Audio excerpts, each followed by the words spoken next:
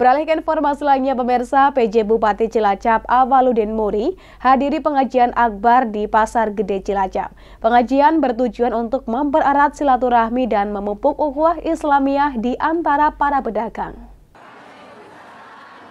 Dalam rangka meningkatkan ukhuwah Islamiyah, keluarga besar paguyuban pedagang Pasar Gede Cilacap atau P3GC gelar pengajian akbar Pengajian berlangsung di halaman parkir pasar setempat, dihadiri PJ Bupati Cilacap, sejumlah kepala OPD, Forkopimcam, Lurah, BPJS Ketenagakerjaan, dan ratusan masyarakat sekitar pasar.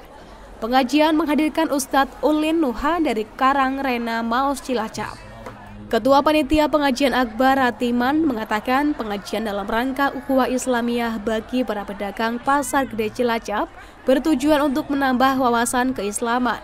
Artinya, tidak hanya melulu berdagang tetapi juga selalu mendekatkan diri terhadap Sang Pencipta dan terhadap sesama pedagang saling menghargai satu dengan yang lainnya. Dengan pengajian ini diharapkan Pasar Gede akan semakin ramai pengunjung dari hari-hari sebelumnya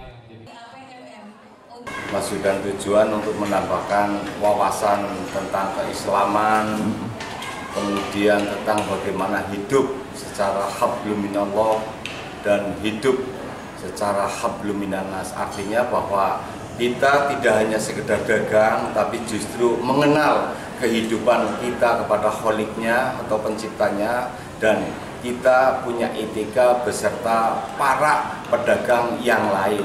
Lebih seperti itu. Dari Cilacap, Ramiana, Banyumas TV melaporkan.